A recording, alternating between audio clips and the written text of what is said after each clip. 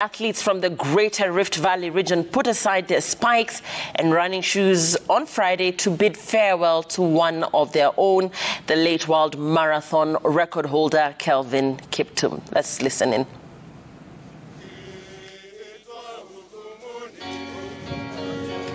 For a marathoner that set a record in every course he ran, this was his last run, a slow run escorted by the people he spent a lot of time with. The pallbearers were all athletes, both field and track, as well as road runners. Kelvin Kiptum's death brought together the whole athletics world, with representatives from World Athletics, his sponsors Nike, as well as his rivals on the road, but good friends of athletics, athletes from Ethiopia. They all painted a glowing tribute to the fallen hero. You were a kind, humble, and charismatic young man who left a great impression on anyone you met. At only 24 years of age, Kelvin Kiptum was a generational athlete. In our short time together, Kelvin became an immediate and impactful member of the Nike family, bettering the sport and our Nike brand forever.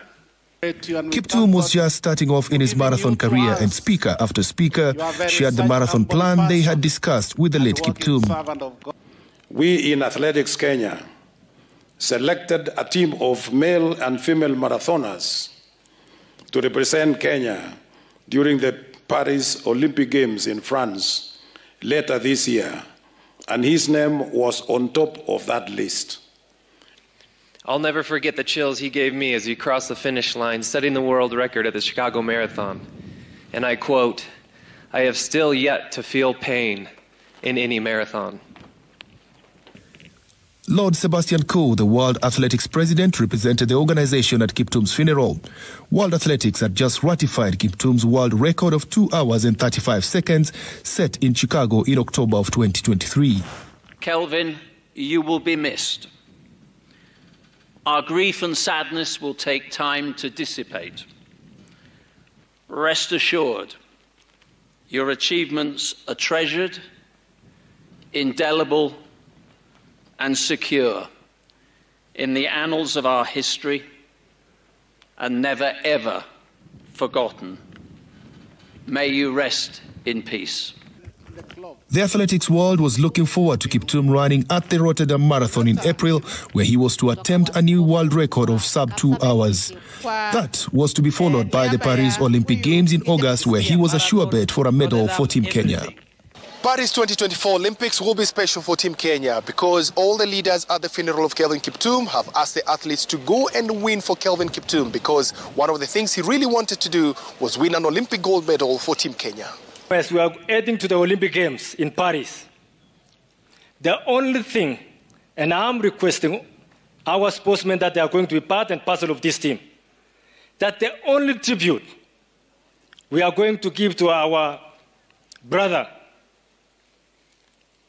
our champion, our legend, Kiptum, is to make sure that uh, we go for, when we go to Paris, every medal that uh, we will be participating in, we make sure we get.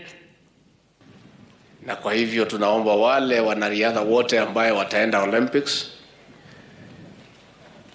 to honor this great son here by carrying our flag high and shattering many other world records. Paris is going to be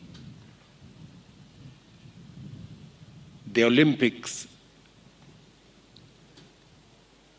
that is going to define this man, Kevin. We want you to make Paris an Olympics of Kevin Kiptum. Mtusaidie na tunajua mko na uwezo. For Sports Cabinet Secretary Ababu Namwamba, Kiptum was more than just an athlete and a friend. He says Kiptum was almost like family and he had high hopes in the young athlete. Ninaposema kwa heri to a boy who has been like a son to me, a boy who really I had a lot of faith in. I was looking forward to Kiptum shattering the two hour ceiling in the marathon and for him to take a bow in the Olympics this summer in Paris. As I say, kwaheri, nasema pole sana na tutasimama na family. President William Ruto also took the opportunity to call on athletes to examine their lifestyles in order to live a better life.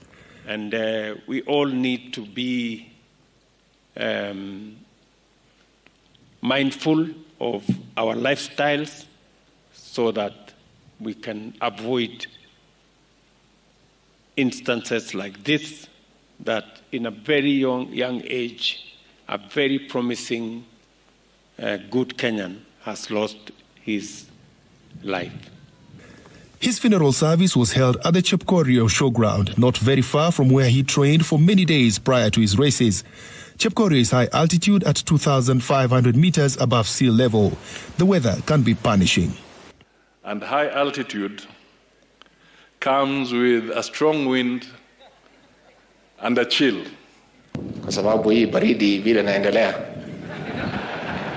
hata wewe rais ukija, nimekuomba ufupishe pia. Hii mahali ni baridi, tuseme ukweli.